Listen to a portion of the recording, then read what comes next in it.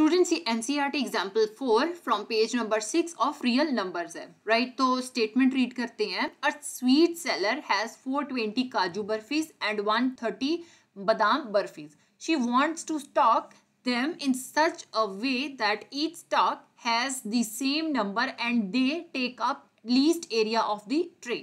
What is the maximum number of burfis that can be placed in each stock for this purpose? एक sweet seller है, ठीक है? उसके पास 420 काजू बर्फीज है और 130 जो है, बादाम बर्फीज है। ठीक है? उसने जो है ट्रे में इन बर्फीज को कुछ इस तरह से अरेंज करना है कि हर एक स्टॉक जो है, उसमें सेम नंबर ऑफ़ बर्फीज आए एंड मोर इंपॉर्टेंट थिंग वो जो है लीस्ट एरिया ऑक्यूपाई करे ट्रे में ओके तो इस हिसाब से what is the maximum number of barfis जो कि वो अरेंज कर सकती है इन ईच स्टॉक ठीक है? तो ये जो हमारा क्वेश्चन है, ये हिट एंड ट्रायल मेथड के साथ सॉल्व होगा, ठीक है? तो ये हिट एंड ट्रायल मेथड लगाने के लिए हम क्या करेंगे? हम पहले यूक्लिड डिवीज़न लेमा की हेल्प के साथ H C F find out करेंगे। तो obviously so you can write let us use Euclid's division lemma to find the HCF of 420 and 130. Right right, तो इसके लिए हम क्या करेंगे? ऑब्वियसली हम जो है 420 को क्योंकि ये बड़ी वैल्यू है इसको हम ए अज्यूम कर लेते हैं और 130 जो है इसको हम बी अज्यूम कर लेते हैं। Right right? अब हमने क्या करना है? हमने 420 को जो है 130 के साथ डिवाइड करना है। राइट तो ऑब्वियसली हम यहाँ पे डिवीज़न लेमा यूज़ कर रहे हैं। सो so, 420 को आपने 130 के साथ जब डिवाइड किया राइट तो ऑब्वियसली 133 था 390 okay so 420 minus 390 that will be 30 right तो अब हम, अगर यूक्लिड डिवीज़न लेमा की फॉर्मेट में बात करें तो हम ये जो 420 है, इसको हम कैसे लिख सकते हैं? A equal to B Q plus R की फॉर्म में, ठीक है? ए जो है ऑब्वियसली हमारे पास 420 है बी इज़ जो हम यहाँ पे डिवाइजर ले रहे हैं। डिवाइजर कितना है? That is 130 Q is quotient quotient कितना है?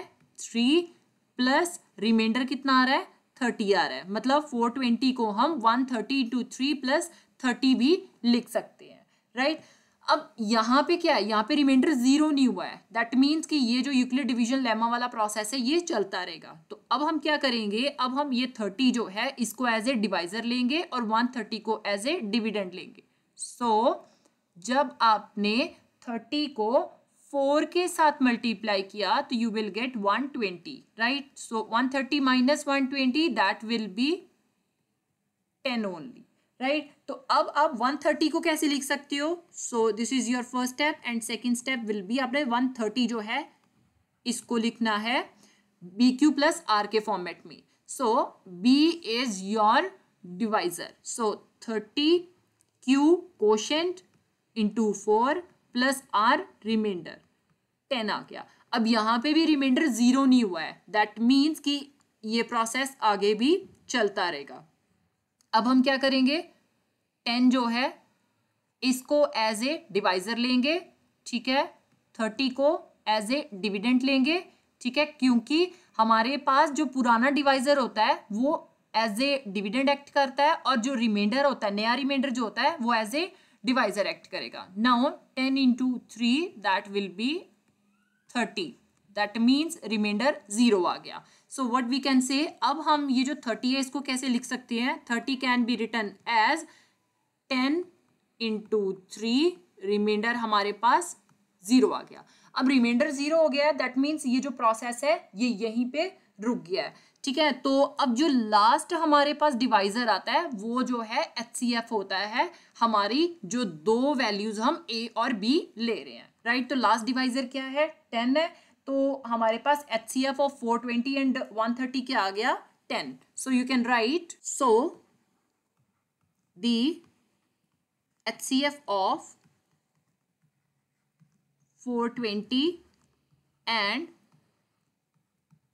130 is 10 right right, तो हमने कहा था कि हम हिट एंड ट्रायल मेथड की हेल्प के साथ फाइंड आउट करेंगे कि एक ट्रे में, ठीक है, वो इवनली कैसे बर्फीज को अरेंज कर सकती है कि वो मिनिमम से मिनिमम स्पेस एक्वायर करे और जो हमारे पास बर्फीज है, वो सिस्टमेटिकली अरेंज्ड हो।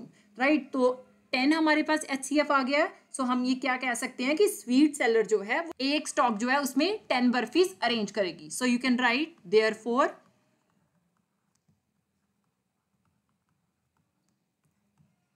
the sweet seller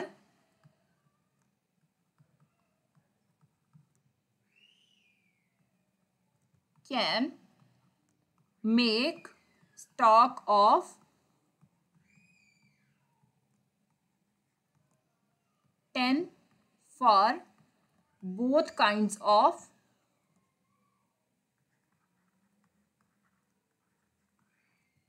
burfi.